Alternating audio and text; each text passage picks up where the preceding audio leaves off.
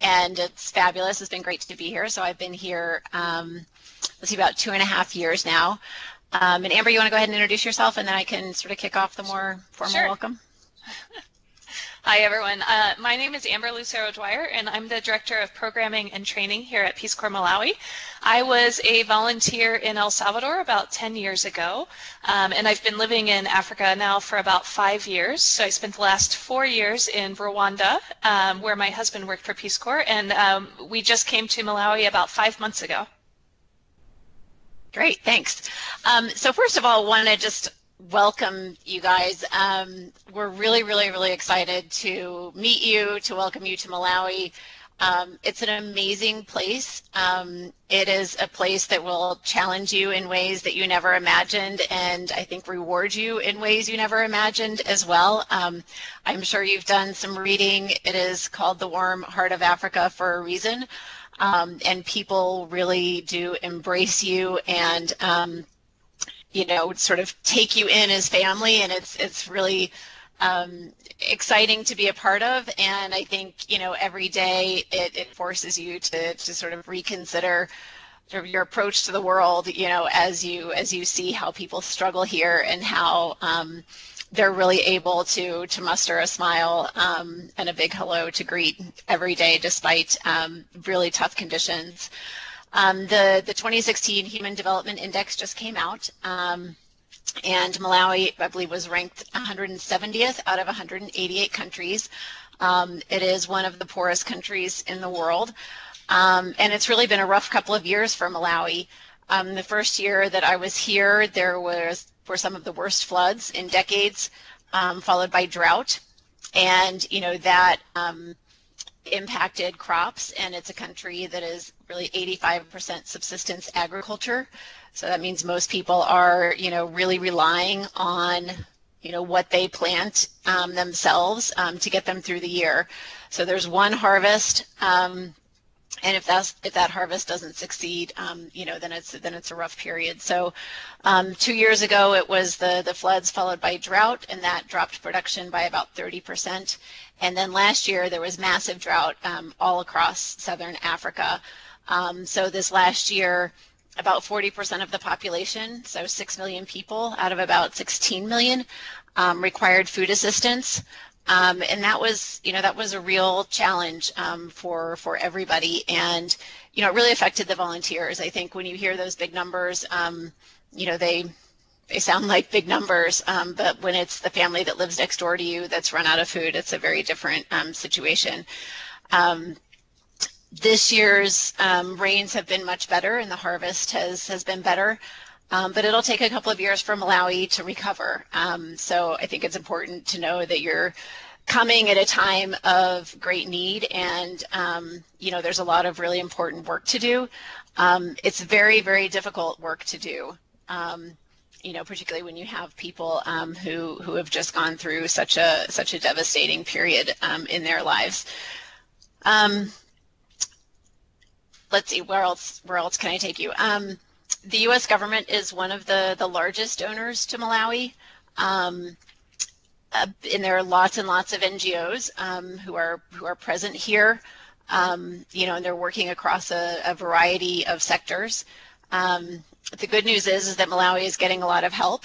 Um, the bad news is that um, that can create a culture of handouts and, and expectations that, that people will get handouts from NGOs and I think it makes Peace Corps' work that much more important, which is, um, you know, we are here to build capacity, um, you know, using locally available resources and really empowering people um, to, um, you know, take charge of, of their own lives and improve their own lives. Um, but it can be very challenging um, for volunteers if there are a lot of NGOs in their communities.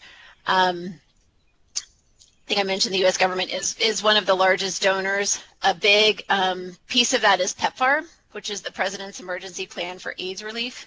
Um, the U.S. government provides over $100 million a year to fight HIV. Um, we've had some really exciting news and progress um, on that front. Uh, there was a big study that just came out, and um, Malawi is doing remarkably well. Um, you know, I think which is just a testament to you know, what can be done when people are really focused and really working towards a common goal. Um, there are global goals to fight HIV um, where they're looking to have 90% of the people know their status, 90% of those be on treatment, and 90% of those have viral load suppression. Um, and Malawi is, I think, about 73% of the people know their status, and that is where there's a lot of energy being placed right now. Um, but of those that know their status, more than 90% are on treatment, and of those, more than 90% are virally suppressed. So that is really exciting news, um, you know, for Malawi, and you know, you all will play an important role in helping get the rest of those people to a place where they know their status um, and are on treatment, and I think that's really going to be historic. Um, for all of us um, to, to get to the place where we have epidemic control in Malawi. Um, a big part of epidemic control is um, related to gender and getting adolescent girls and young women um, onto treatment. So that is also a place where Peace Corps plays a major role. Um, you know, teachers will have tremendous access to those young um, women and girls. And, you know, folks in the health sector and environment will be working with them as well. It's a big target group for us. Um, and there's lots of work to do there. Um, I think I'll stop there in terms of programmatic stuff and let you guys ask questions uh, later. Um, but I just, I think in terms of Malawi as a country, it is very, very poor. It's also very friendly. It's very peaceful. It's small. So it's a place where, you know, there's opportunity for um, people to innovate um, and and try new things. And I'm just really excited, um, you know, for you all to, you know, to be here and to be able to play a part in Malawi's development. Um, I'll go a little bit into expectations and then I'll turn it over to Amber. Um, in terms of coming into Malawi um, and and coming into Peace Corps, I think you all you may have um, volunteered before, um, you know, as, as something that's on the side. Maybe you've you volunteered in a more serious, um, you know, capacity. But I really want to emphasize that when you join Peace Corps, um, you are very visible member of the community and you're coming at the invitation of the government. Um, so it is a job. Um, you know, it's a job where people have expectations that you'll, you know, contribute in specific ways that we've told the government that we would contribute. And it's really 24 7. Um, you will be very visible um, members of the community. Um, you'll be a little bit in a fishbowl. Um, and you know there are really good things about that. People will notice you um, you know but sometimes it's you know we like to be anonymous and you know it's hard to be in that fishbowl all the time. Um, you know but i think we all are are in it together. Um, amber and i joke we're at a fishbowl as well here in in Lilongwe as members of the of the u.s government community. And um, you know they're they're just um, you know, a lot of responsibilities that come with that um, as a representative of the United States government and as a representative of Peace Corps. Um, so we really do, um, you know, look forward to you all coming in as professional, you know, volunteers and and ready to sort of carry that, that torch. Um, we have said that we want to be the sort of JFK volunteers. Um, you know, and really carry forward that spirit of, of service as we as we come in. Um, because it's small, uh, we also know each other very well. So we, you know, like to think of Peace Corps Malawi as a family. Um, you will have a very, very intense experience. You'll have a lot being thrown at you, um, you know, but through that intensity um, and with the support of the office, you really do bond with people in ways that um, you know you, you probably won't at any other time in your life. Um, we just have a group that's closing their service this week, and um, it's been really fun to watch them learn and grow and um, you know see how they've come together as a group and come together to, to support each other. Um, we do um, expect that you know your primary responsibility will be to your community. Um, and that you really spend time in your community. Those relationships are, are incredibly important. And, um, you know, I hear that time and again as, as volunteers close their service about how valuable those relationships are and what a unique experience it is to, to spend time um, in a village really getting to know and understand the people that are around them. Um, you know, sort of in that spirit, we do ask all volunteers to respect the norms um, of the community that they're serving in. Um, one of those that, um, you know, is, is probably been in some of your welcome materials uh, relates to alcohol. And, um, you know, alcohol in a village in Malawi um, has a much different connotation that it, that it would in the United States, particularly for women. Um, which isn't necessarily fair, but it just is. Um, women in a village setting, you know, really don't drink at all. And, um, you know, even for men, there's sort of, you know, if, if you have, if you have one drink, you're, you're sort of considered a drunk. Um, you know, there's sort of no, no sort of concept of social drinking. People either, um, you know, drink and are troublemakers or, you know, they don't drink and they're, they're good people. Um, so your pre-service training will be dry. So that is the first 12 weeks of your, your time in country. Um, so want to make sure that you all understand that um, coming in so that you know what those expectations are. After folks swear in, um, like you're all adults, and we ask that you, you know, drink responsibly.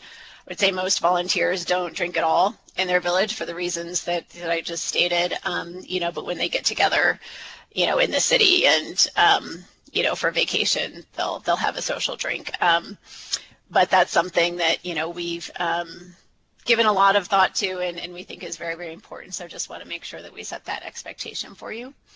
Um, let's see other than that i think i will i will stop there. Um, i think there'll be a series of calls coming up and you'll have an opportunity to talk with with different members of staff. Um, i think you'll find our staff incredibly um, competent and caring and um, interested and engaged. It's a great team, um, you know, and we will support you every every step of the way. So over to you, Amber. I think you need to unmute. Thank you, Carol. Uh, so sure. I want to give you a little bit of, uh, paint a little bit of a picture for you of your first three months, which will be uh, pre-service training. And here uh, we often call it PST. So if you see the word, if you see the letters PST in your materials, or if you hear it, we're just talking about pre-service training. And that is the period of time in which uh, you will be trained as an entire group before you go out to the village where you will serve for the for the two years of your service. So it's the first 12 weeks. Um, your PST will take place in a rural village, as Carol had mentioned. Um, it's about an hour or so uh, outside of uh, Lilongwe, the capital. And I would just want to give you a basic overview of that time. Um, first of all, a very important part of your PST is what we call the homestay experience. And that means that you will, uh, each of you will be lodged with a host family that lives in the village. Um, that will also be the training village that you'll you'll learn everything uh, about Peace Corps in. So you'll you'll be another member of your host family's uh, household. Um, they will have a room for you, but you will eat your meals with this family. You will learn language from this family. Um, you will learn learn cultural um, attitudes from this family, and you'll also learn how to conduct certain basic chores um, that you will need to learn um, to live in a village because most of you will be living without electricity, without indoor plumbing, um, and so there uh, we want to be able to teach you how to cook without a stove, um, how to gather your water and how to clean your clothes without a washing machine. All of those things um, are very important skills that your host family will uh, will help introduce you to. Your host family will likely not speak English, or maybe there's one or two people in the family that will speak some English. Um, and so this is your chance to really um, grab hold of the language to practice it. Um, so it, it, it's a very important uh, part of your training it's not just a, a, lodging experience, but a very important part of your training to become a Peace Corps volunteer. Um, your family will um, will treat you like another uh, another family member. A lot of volunteers um, get very close to their families because they are your window into uh, into Malawi uh, for the first time, and so they they will play a very special role in your service. Um, and I'm looking forward to you developing uh, those relationships with your host families. Um, in terms of the content of your PST, let me just break it down into about four major categories. Um, one is what we call program or technical training, and that is um, that is training that is specific to the uh, assignment that you have. So if you're an education volunteer, you'll be learning about teaching methodologies. You'll be learning about writing lesson plans according to the Malawian curriculum. You'll be learning about gender equitable practices in the classroom. So you'll be learning how to teach in the classroom in a Malawian school, and also how to work with community groups um, and teacher training as well. So if you're a health volunteer, you'll be learning about working in a health center. You'll be learning about HIV um, AIDS prevention activities. You'll be learning about maternal and child health and nutrition as well, um, and health system strengthening. So again, the technical aspects of what it means to be a health volunteer in a village.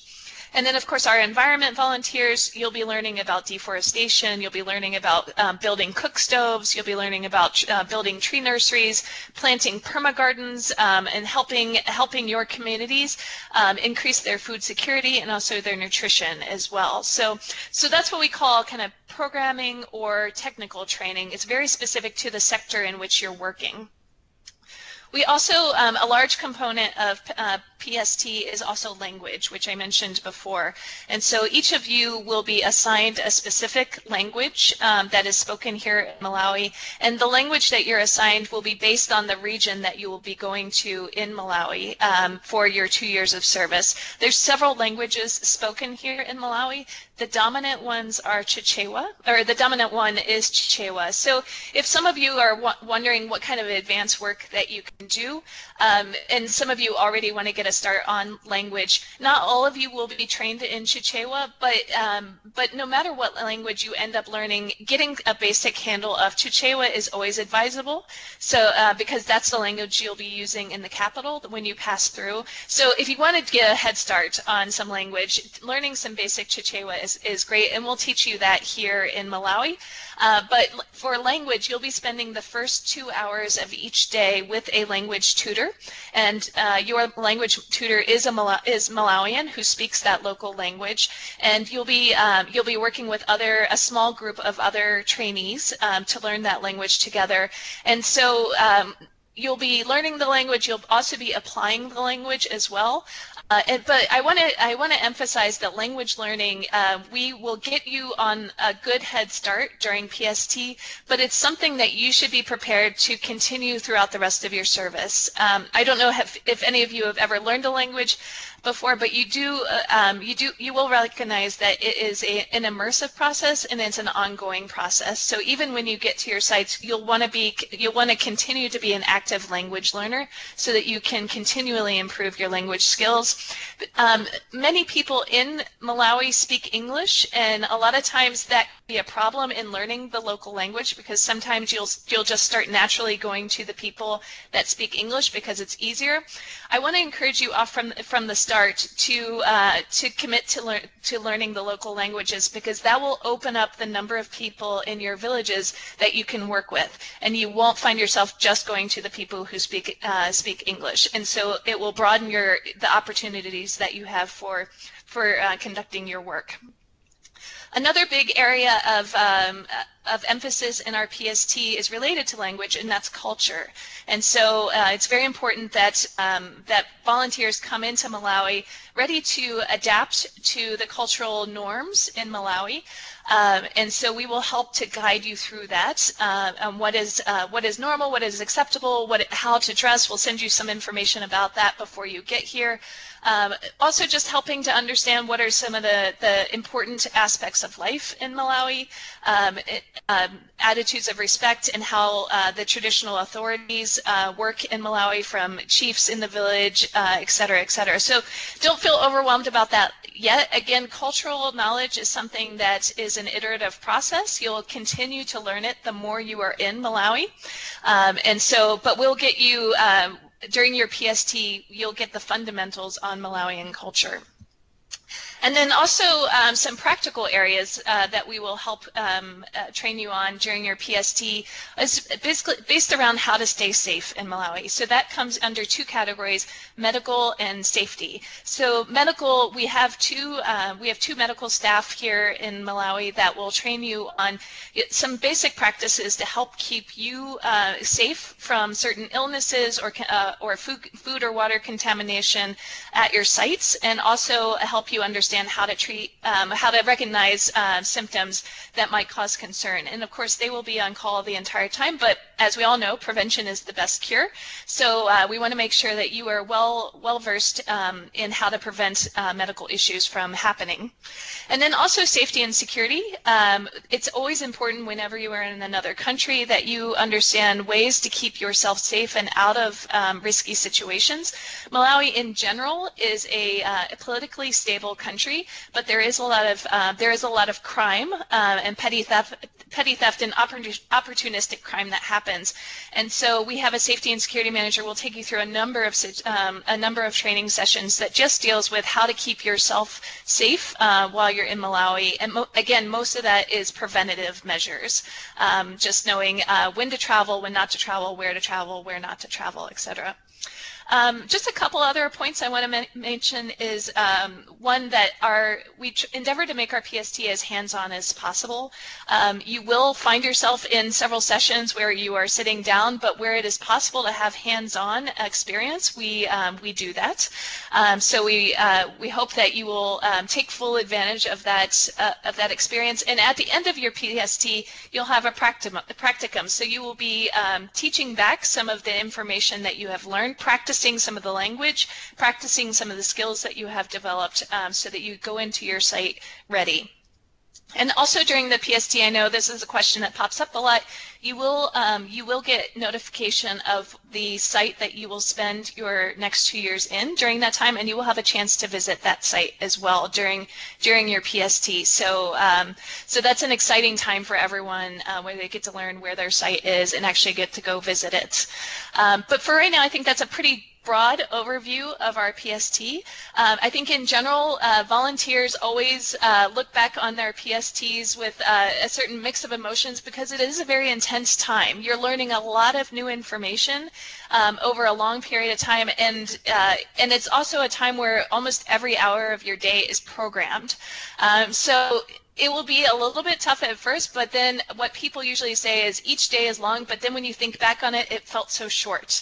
Uh, so keep that in mind if you feel a little, if you're feeling a little anxious about it. A lot of people don't even remember their PST, uh, meaning the length of it, uh, but they certainly remember the skills that they picked up in that PST as uh, being beneficial for uh, implementation during their service in their site. So I'll, I'll leave it at that, and I'll be happy to take any uh, questions.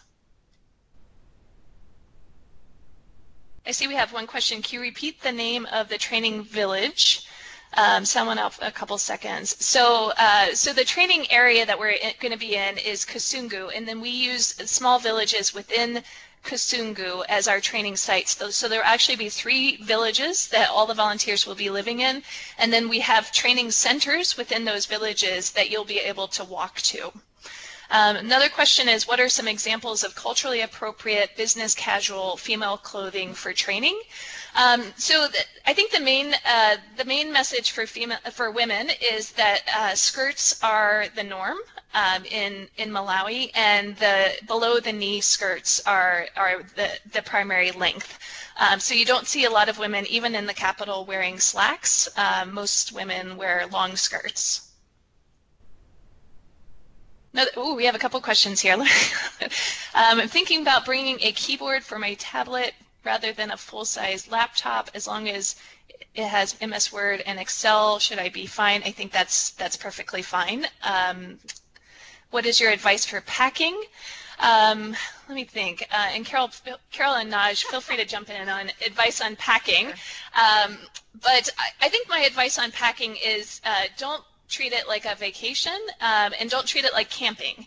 Um, I've seen a lot of cases where volunteers bring big tents and sleeping bags, and you may use those um, once or twice during service, but really you should be thinking about the day to day. And the day to day is going to be largely um, business casual wear um, that you're going to be wearing in your site. Envi- environment volunteers are a bit different because they're working out in the fields a lot, so their clothing is going to be a little bit different. But think about your day to day activities, which are going to be in a in a more professional setting. Uh, Carol, do you have anything to add? To... Yeah, I'll jump yeah. on that a little bit. Um, in terms of clothing for women, um, wearing slacks was actually illegal for a long time here. Um, you know, so it, it's not just that women don't wear slacks; it's it's that it is you know it, it's that it was illegal. And so, you know, most people, most women in a village wear what's called a chitenge. It's just a, a piece of fabric and, you know, you wrap it around your waist and tie it. And, um, you know, it's very simple and easy. We will give you one of those as part of your sort of welcome, um, you know, I won't call it a basket, a little bag with some, some basic supplies in it. Um, you can get those here for a couple of dollars, um, so it's it's very inexpensive, and you know wear that with a T-shirt. Um, you know, and, or, you know, some other slightly nicer top. Um, a few maxi skirts, you know, would be fine. Um, a lot of women will wear, um, you know, sort of running tights or something underneath those because you're getting on and off bicycles. Um, but really less is more you know, and I, I think there was a, a, question, will you be able to get that kind of clothing in country? Absolutely. Um, and there are also tons of secondhand clothing um, markets um, that, you know, you can, you can get things um, in. So I think most volunteers feel like they brought too many clothes um, and that they didn't need everything that they brought. Um, comfortable walking shoes for sure. Um, you know, you will be on your bicycles a lot. You will be walking a lot, um, you know, in the villages. So, you know, comfortable, practical shoes will be important. Um, let's see, I think there was another question about how big is our class. There are three sectors that are coming um, as part of the, the training cohort, um, health, education, and environment. And we're expecting about 70. Um, it is the largest class that we've brought in together. It used to be that health and environment came separately from education, so this will be our first combined class. Um, we're really looking forward to that because we think there are important synergies between the sectors. Um, and you know, we, we look forward to how we cross-fertilize um, across sectors and, and how we can really leverage the training to, to take a more holistic approach to the needs of, of our different communities. There's a Nash. There's a question about staging. Do you want to take that? Do we meet somewhere in the states or before heading to PST? Are our flights already figured out?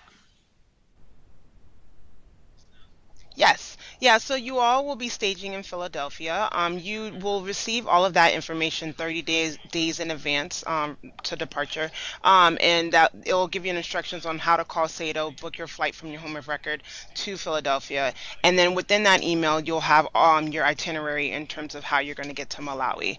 Um, and so just kind of hang tight with that. You will receive that information shortly. Is that it? Okay. Yep. Mm-hmm. So there's a question about what's an appropriate homestay host gift.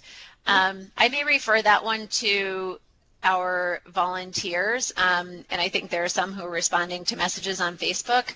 Um, I, I, would say that, you know, if you want to bring something for your host family, that's great. Um, anything that you would bring should be modest, um, and you know, you always want to think about um, what kind of precedent you're setting and you know, how is that with respect to the other volunteers? Um, Malawi is a very communal society, um, and people do compare. Uh, you know, so we would, want to keep it, you know, whatever it is, a calendar, maybe, um, you know, a small bag of chocolates, you know, something, something sort of in that realm. Um, would be very much appreciated and, and would be appropriate. But the, the volunteers um, themselves might have some other interesting ideas um, on that front. Great.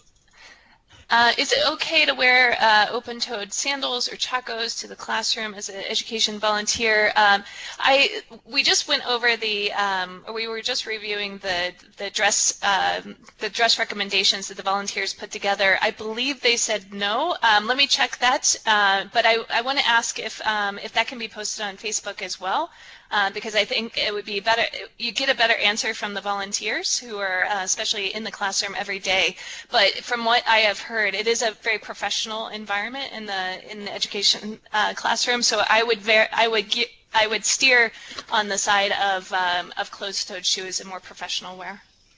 And I would like to add that during your uh, one of our second conference calls with your supervisor, there will be a volunteer on the call that can kind of dig a little deeper into what exactly you're supposed to wear, especially as an education volunteer. So you'll have an opportunity to like kind of meet, see a volunteer, um, kind of face to face, I guess, through Skype, um, and ask those kind of questions.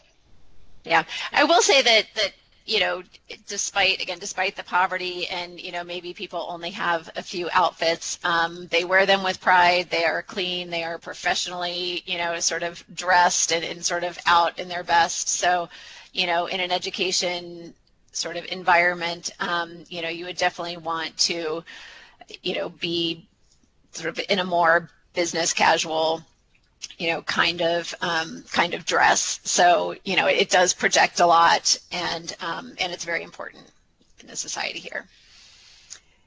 Let's see. There's a question about email confirmation. Naj, maybe you can take that one. Yes. So unfortunately, we cannot give you um, like a, a, letter that says that you will be serving um, for the next two years until you come to stage and You sign in as a trainee. Um, but however, you can use your invitation email um, that you received that you've been invited to the Malawi program. Um, most companies do just accept that. If you're having a hard time um, in most cases, they do accept that email, um, but unfortunately, we can't give you an official document saying that you are going to be serving until you actually attend staging and sign in as a trainee. Okay. Um, there's a question about taxes. Um, you will get a W-2 from Peace Corps, um, you know, for the, the small percentage of your, I believe it's your living allowance um, that is provided. Um, so we will get those documents to you, and if you have other forms, you know, and things, they can be mailed here. Um, but you know, typically people do go into the the cities to access, um, you know, an internet cafe, um, and you know they would need to do their taxes there. Um, let's see. There's a question about. Um, go ahead, Amber. Oh no, I just saw the spirit stove. Um, unfortunately, I don't know what that is, but let me um, let me just say, in general, I think uh, you will you will be taught how to use a traditional stove that um, is used by other people in your communities, and I would recommend that um, that you adopt the practices of, of your community. So you're already going to be bringing things that make you stand out, such as a smartphone and a laptop. So the more that you can use um, the the same practices of cooking, of cleaning, of gathering water that your um, that your village is using, I think that is a better way to integrate um, to minimize those differences where you can. Um, as far as bed sheets, um, I believe we provide those um, in our welcome kit, but let me let me get back to you on that um, just to confirm. We do. Okay. Yes. Yeah, we do. We do. Um, there's a question about bringing a keyboard for your tablet rather than a full-size laptop. Again, I would probably direct that question to to one of the the volunteers, um, you know, to see how that has has worked for them. Um, but it is important to have Word and Excel, and there are some other programs that we ask you to access um, if you can with a with a laptop. Yeah, and um, let me um, take. Oh. Go ahead, Naj. Just to add to that, I know the VRF, which is your um, volunteer reporting um, form. What's the F stand for? Yes. Um, form. Um, that's the reporting tool that you all will be using to um, kind of notify your supervisor of the projects you'll be, you'll be doing. And I know in most cases it does not actually operate on a tablet. You will need a laptop for that. The software is not compatible. Yeah. Let me um, let me take the question about uh, placement locations, and maybe Carol, you can take the question about uh, volunteers uh, affected by crime. Um, so the, the question is, from my understanding, communities apply for Peace Corps volunteers and therefore placement locations are predetermined. Would it be possible to get the names of these locations so volunteers can do preliminary research on that region? Um, so the first part definitely is true. Vol uh, we only go into uh, we only go into countries and also into communities that request Peace Corps volunteers because that's an important part of community acceptance. Um, however, the the list of communities that we are working with for the next year is still um, still being determined. Our uh, our staff are visiting many communities around the country as we speak, and we'll and we'll be doing so uh, for the next several months. We, we do not have a complete list. Um, that you will find out the communities when uh, when you get to PST as we um, as we determine um, which volunteer goes to which of those communities. That that determination of which volunteer goes to which community is a is a complex process, but it is partly based on on the resume that you send, your aspiration statement, what strengths you have, um, what interests you have, and also we'll be sending out a questionnaire very soon to help us get a little bit more information uh, about your skill sets um, so that we can help determine placement as well. And then we look on the other side of the, the community's needs, uh, express needs that they have stated as well. So it is um, it is a, a, a, process that will um, that will be finalized after we get to meet you in person and, and get to know a little bit more about you. Okay. Um, the question about crime, what percentage of Peace Corps volunteers have been affected by crime? I don't have that statistic right in front of me. Um, what I can say is most of the crime that volunteers do experience is, you know, theft and burglary. Um, they're crimes of opportunity. So typically, if they're traveling, maybe they left, you know, a window open, you know, or maybe somebody knew they were gone and, and broke their window open and, and hooked some things out of their house um, you know, or they're pickpocketed on a bus. You know, it's it's those types of things that are the most frequent um, types of crime in Malawi. Um, we don't have a lot of violent crime here. Um, like I said, it is a very peaceful country, but it is a very poor country. You know, so where where there's opportunity, um, you know, some people will will take it. Um, that those crime statistics, I believe, are available. Um, and you know Naj, you and I can work on that if if you all have follow-up questions and, and want to know more.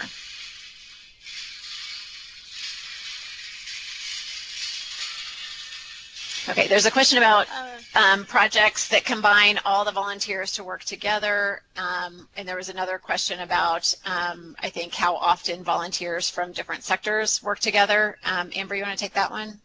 Sure, sure. So uh, I think everyone's kind of getting the, the idea or understanding the idea that each volunteer works in a specific sector, and that's either education, environment, or health.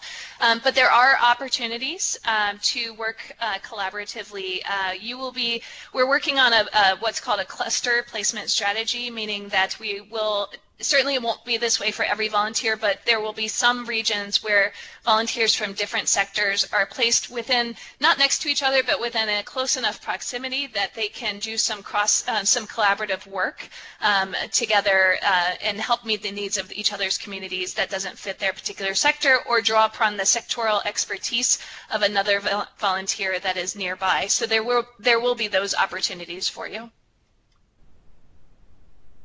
Okay. Um, there's a question here about where we'll be able to keep important documents. Um, we do keep a small safe in the Peace Corps headquarters office, um, you know, where you can keep, you know, the passport, driver's license, credit cards, hard currency, um, those types of things. And we do provide a lockbox um, for valuables at your site, um, you know, so that you can keep those things locked up and out of sight and safe. Let's see.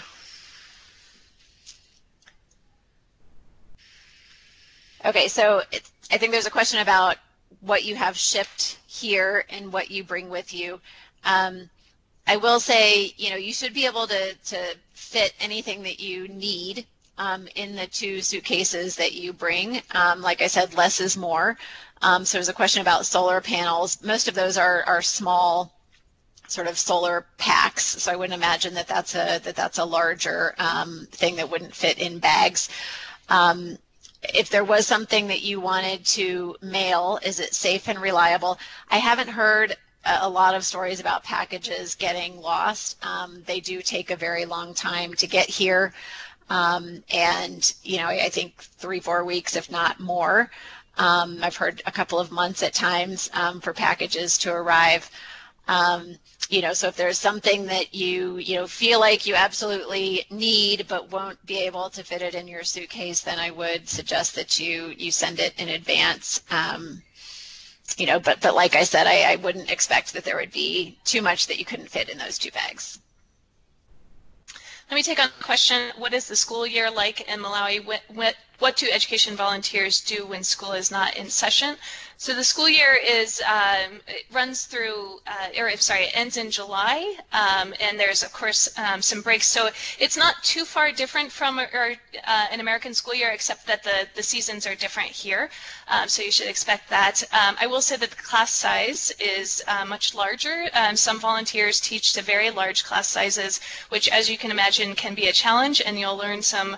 You'll have to learn some uh, credit pretty incredible um, classroom management techniques uh, to deal with the class sizes that big. But that will give you an um, that will give you an insight into some of the challenges that uh, Malawi faces in terms of uh, lack of resources.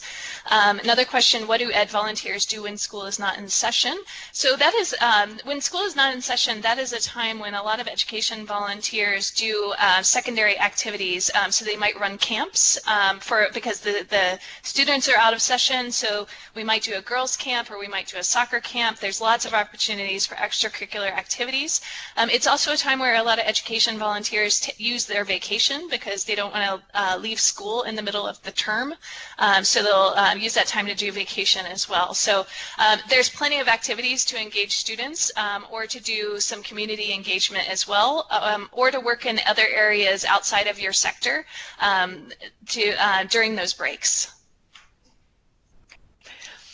Okay, there's a question about how is communication back to home in Malawi. Um, every site, you know, should have internet access or, or, sort of, you know, sorry, some cell phone access um, at some place in their village. So you might need to stand next to the right tree facing a certain way and, and holding it up to, to be able to get a signal um, but we do want you to be reachable and, and to be able to have that access. So um, WhatsApp is the most common form of communication amongst volunteers, and um, most volunteers do use that to, to be in contact with home as well.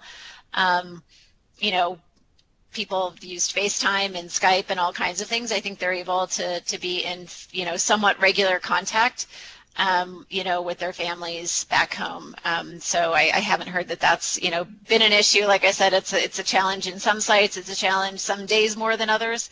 Um, you know, I, I, think one thing that, that you will learn in, in Malawi is flexibility and resilience, um, you know, because what may be true one day might not be true the next, um, you know, but the, the communications has, has been fairly, um, you know, consistent.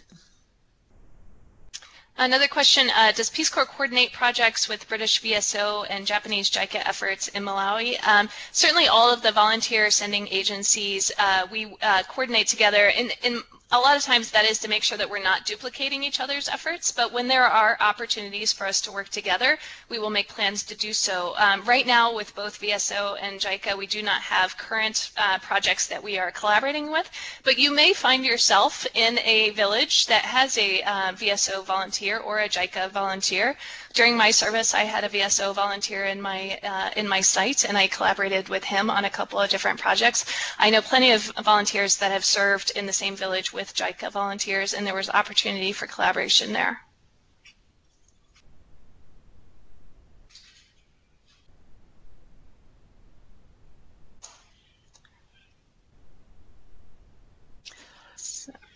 So Naj, can you take that question about the, the downloadable file and country information forms?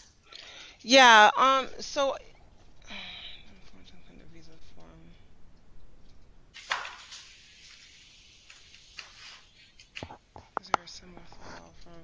So are you are you asking about the visa? Because that should have been already completed a while ago. Um, and I've actually received uh, information from our SATO office that you already complete, that all of you have actually completed um, your passport and your visa applications. So I don't know.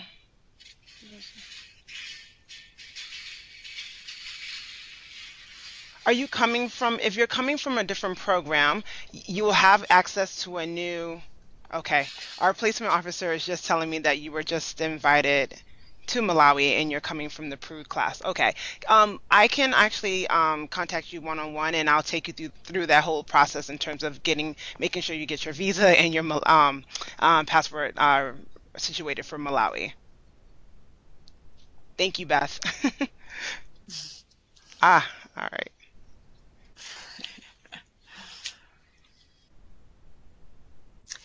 So it doesn't look like there are other questions coming through, but um, I really do encourage you all. I'm sure you're looking up all kinds of, of information and, you know, there have been book recommendations and, and other kinds of things. Um, the Boy Who Harnessed the Wind is a great book, a really nice read, um, written um, by a boy who grew up in a village during a time of famine and, and had to drop out of school and ended up teaching himself some physics and, and built a windmill and um, you know was able to start charging phones and, and doing some other things. And it gives a really great um, glimpse of village life and some of the um, you know things that people go through and some of the attitudes and some of the cultural norms.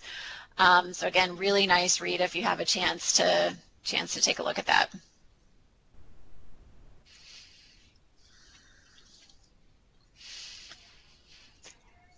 let's see. There's a question, is it okay to order a few things and have them sent to Peace Corps headquarters ahead of us? Um, I'm not sure if that question is to Peace Corps headquarters like in Washington. Oh, oh in Malawi. Yeah. Um, so typically what we would do is collect packages. There, there are fees associated with those sometimes, um, you know, so like I said, I think, I think if there are a few things that, that you want to send, um, you know, you can certainly go ahead and do that, um, but I would keep it, um, you know, keep it modest. Um, and then we would, you know, if we had to pick those up, we would ask to be reimbursed, um, you know, when you, when you arrive. Uh, excuse me, Carol, there's, if things need to be if there's a duty associated with the with the package so if you have to pay customs fees most likely the post office will ask will open up the package for inspection and they need the person who the package is addressed to to be there. Uh, so if you're sending us things now uh, we will not be able to pick that up and that will stay at the airport uh, for a few for a few months. And if the package is at the air, sorry, not the airport, at the post office for more than three months, they'll send it back. Hmm. And that's why Adam gets paid the big bucks. So Adam is our admin guy and keeps us all in line. Thank you, Adam, for that.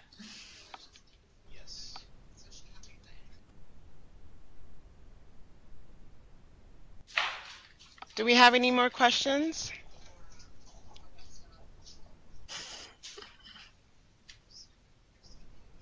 No, well, listen, like we are. Oh, go ahead. Go ahead, Carol. I was going to say we're we're really really again very excited to to welcome you. Um, we're a little bit biased, but we think you got the best assignment. Um, I'm sorry for Peru, but we're very happy to have you. You're going to be very happy in Malawi. Um, and um, you know it'll be an amazing experience and i think just come with a very open mind and open heart and um, you know it, it will um, it will change your world and you know it's it's um, truly one of the toughest jobs you'll ever love. And um, you know it's a great sort of organization to be a part of a great you know club to be a part of. And you know i, I think um, i am just really excited for you and, and look forward to, to sharing those next two years with you all.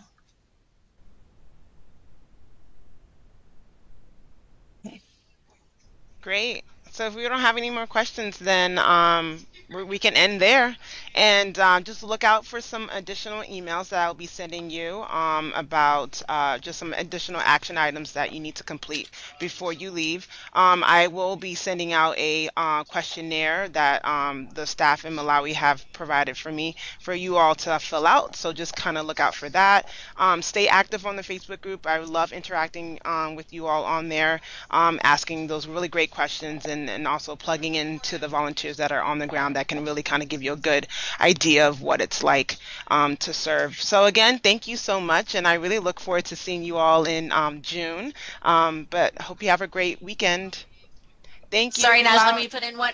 Yeah. Hang on, Naj, let me put in one more plug. Um, Uh-huh. if you're not if you're not already connected on our official Facebook page, um, please do go there. Um, particularly today, because we've got a group of our our COSing volunteers, volunteers who have finished their service, are, are closing out today, and there are just some great like, you know, words of wisdom and you know farewell photos there. So it's it's kind of a nice little way to connect with those folks who are heading out. Great. Okay. Well, thank you so All right. much, uh, Carol and Amber and Adam. I really appreciate it joining the call. All right. Thank you, everyone, and um, just we'll be in touch. All right. Bye. Bye.